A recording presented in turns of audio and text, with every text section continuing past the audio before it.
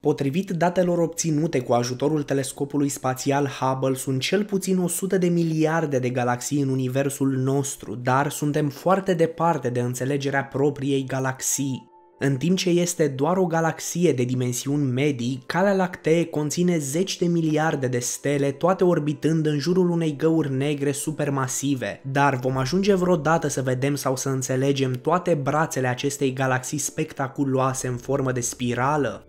Astăzi vom vorbi despre cât de mult ar dura traversarea căii lactee.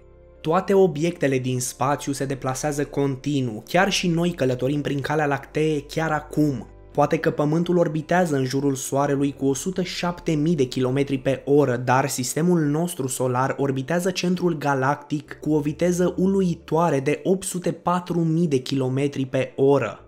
Chiar dacă este o viteză imensă, avem nevoie de aproximativ 230 de milioane de ani pentru a traversa galaxia noastră spiralată sau perioada de timp cunoscută sub denumirea de an cosmic.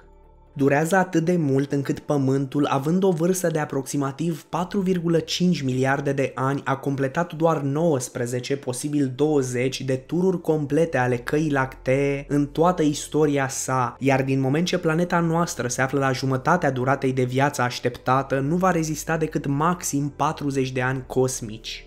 Calea lactee are un diametru de cel puțin 105.000 de ani lumină, din moment ce un an lumină are o lungime de aproximativ 9 trilioane de kilometri, acest lucru înseamnă că galaxia noastră are mai mult de 950 de quadrilioane de kilometri de la un capăt la celălalt și totuși este o estimare prudentă. Alte studii au sugerat că discul căii lactee atinge până la 200.000 de ani lumină pentru că s-au descoperit stele care orbitează în jurul centrului galactic mult mai îndepărtate în neantul spațial decât credeam noi inițial. Acest lucru înseamnă că unui foton de lumină ce călătorește cu viteza luminii îi trebuiesc 200 de mii de ani pentru a traversa calea lactee, depinde unde vom descoperi că se află adevărata graniță.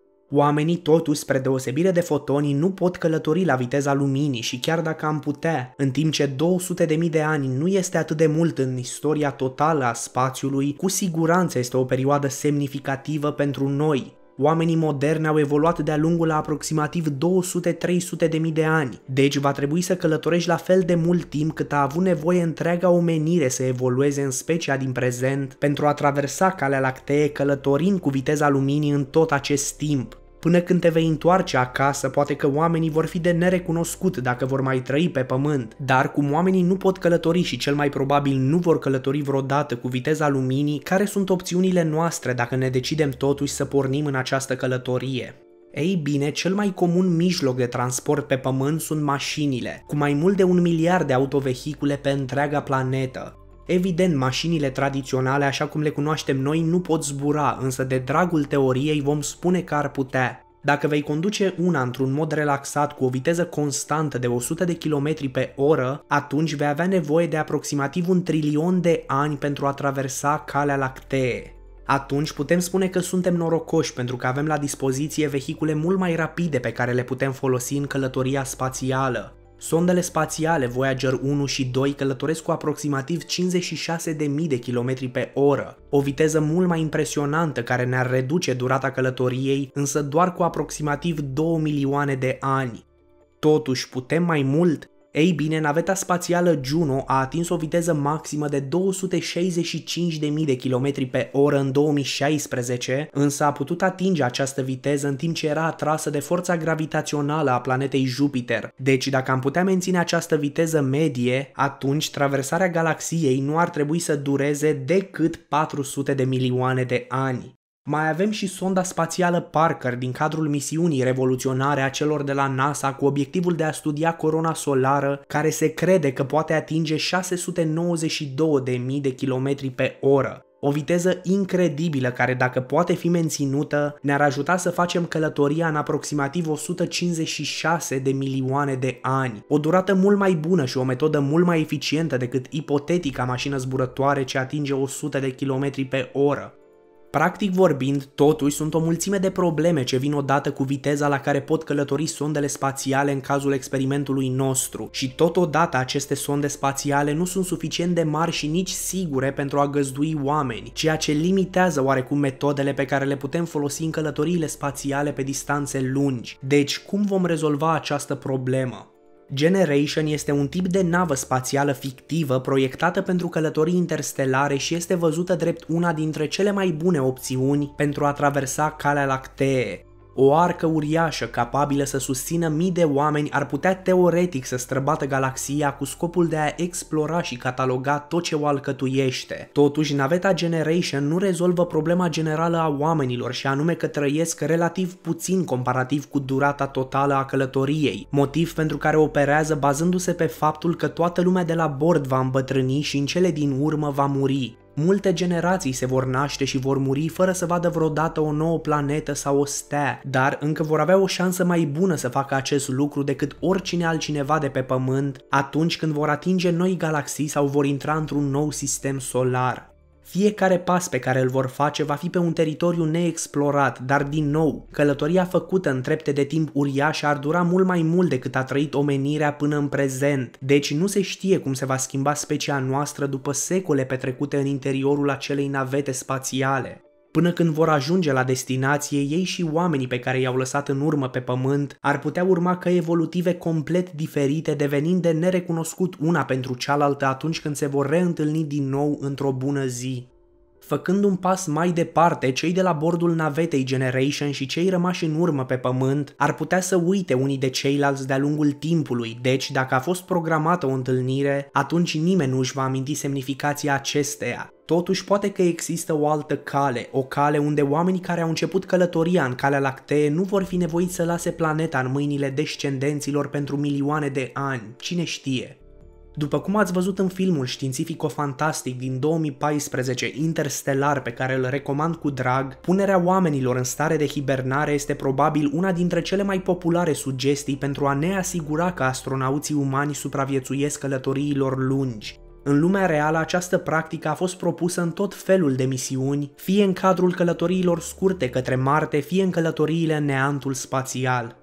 În teorie, hipersomnul sau anabioza, adică o stare a unui organism viu în care procesele vitale sunt încetinite atât de mult încât nu există nicio manifestare vizibilă a vieții, ar putea permite trimiterea unui echipaj mic de astronauți în misiunile spațiale de lungă durată, în locul unei navete spațiale masive care să permită supraviețuirea de-a lungul mai multor generații a sute de mii de oameni la bordul său, trezind astronauții doar atunci când este ceva cu adevărat interesant de observat. Din păcate însă, în caz că nu știați, hipersomnul este doar în stadiul de ficțiune în acest moment, dar acest lucru nu înseamnă că oamenii de știință nu analizează această ipoteză.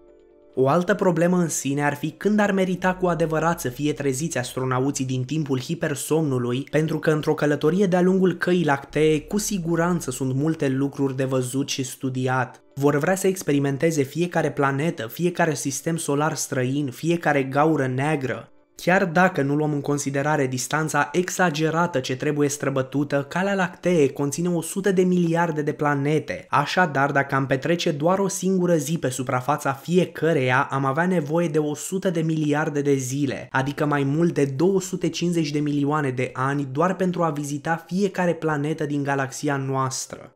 Chiar dacă nu luăm în considerare aceste cifre și să spunem că vom vizita doar planetele ce se află în zona locuibilă circumstelară, numărul va rămâne unul uriaș pentru că sunt aproximativ 11 miliarde de planete aflate în această zonă, deci va dura aproximativ 30 de milioane de ani pentru a le vizita.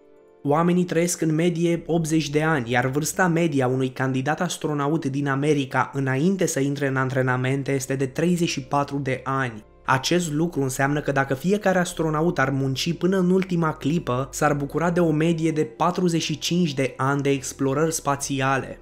Dacă vizitarea unei planete, satelit natural sau al oricărui corp ceresc ar fi posibilă în fiecare zi din viața unui astronaut, ceea ce cu siguranță nu este posibil în prezent, acesta ar putea face aproximativ 16.425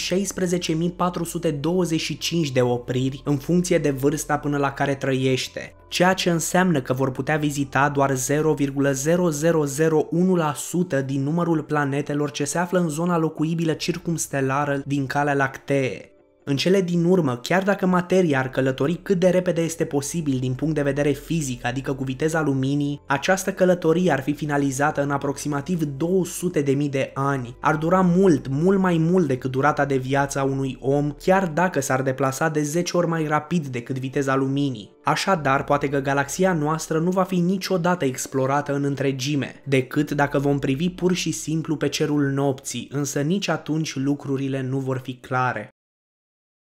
Acesta a fost videoclipul meu, dacă v-a plăcut nu ezitați să vă abonați. Mi-am creat și un cont de Patreon unde deja mă susțin câțiva oameni cărora aș dori să le mulțumesc din suflet. Aveți un link în descriere dacă sunteți interesați. De asemenea, mai jos găsiți și conturile mele de Instagram. Hai cu un follow și acolo. O zi superbă vă doresc tuturor!